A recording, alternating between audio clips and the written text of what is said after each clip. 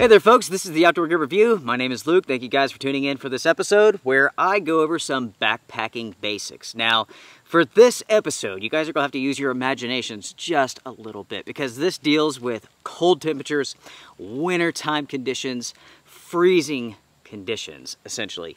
Now, right now, it's like 73 degrees, so it is just way hot. So, like I said, you're gonna have to use your imaginations just a little bit.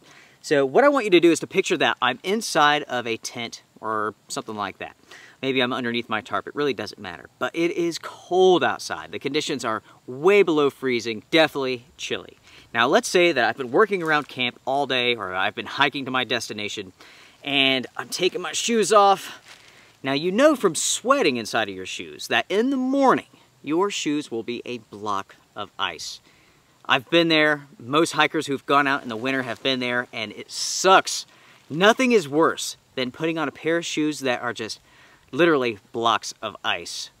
I mean, it takes a long time for that ice to warm up. Now, what I'm going to show you here deals with keeping your shoes from freezing. It's very, very simple. It's an easy thing to do. Now, as I mentioned, you will have to use your imagination for this here. Now, when you are out winter camping, you will have a sleeping bag and or some sort of ditty bag inside of your backpack, a bag big enough for you to put your shoes in. Definitely most compression bags for, or stuff sacks for sleeping bags are large enough for your shoes, especially in the wintertime. Right here I have a ditty bag, which is large enough for my shoes to go in, but this could be a stuff sack, whatever. Take your bag and turn it inside out. That way, when you put your shoes inside of the bag, the dirt is on the outside, not the inside. So in the morning, you could flip this right way out, put your sleeping bag in it, and your sleeping bag doesn't get dirty. So, knock off the dirt, the mud, the snow, and stick them inside of your bag. You could then seal them up. That way none of the dirt, the muck comes out. Now, as I mentioned, you have to use your imagination here. So I'm inside of my tent and I'm about to go to bed and I don't want my shoes to freeze, right? So I'm about to hop inside of my sleeping bag. What you do is you take your bag with the shoes and you shove them in the very bottom of your sleeping bag. So you shove those in, then you hop in yourself, you pull it tight, you zip it up. Your body heat and the sleeping bag itself will keep your shoes from freezing. It's a simple little trick that really does work well and it prevents your shoes from becoming blocks of ice.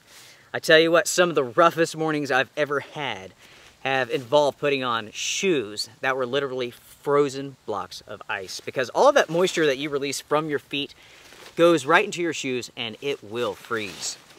Another thing that you can do that's nice, you can take out the soles from your shoes if they're removable and you can keep them around your body while you're sleeping. So in the morning, you can take those, put them in your shoes, put your shoes on, and everything will be nice, warm, and not frozen. If you guys have any questions for me, you know what to do. Thank you all for using your imaginations for this one. Use this tip. I promise you it works very, very well. Until next time, everybody, take care, strength and honor. See you guys.